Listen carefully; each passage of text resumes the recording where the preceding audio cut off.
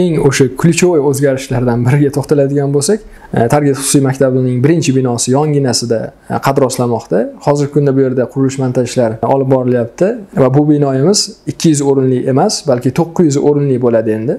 Beshinchi sinfdan yuqori bo'lgan o'quvchilarimizni joylashtirishni mo'ljallayapmiz va hozirgi kunda bu binoyimiz e, high tech usulida dizaynlashtirilgan va loyihalashtirilgan. Bunda o'z o'rnida o'sha kattaroq o'quv xonalari o'quv laboratoriyalari bo'ladi. Masalan kutubxonasi yo bo'lmasam oshxonasini o'ziga yolg'iz to'xtalib o'tadigan bo'lsak hajm jihatidan bizni hozirgi maktabimiz binosida joylashgan oshxonamizdan bemalol ayta olishimiz mumkin. To'rt besh baravargacha kattaroq hisoblanadi.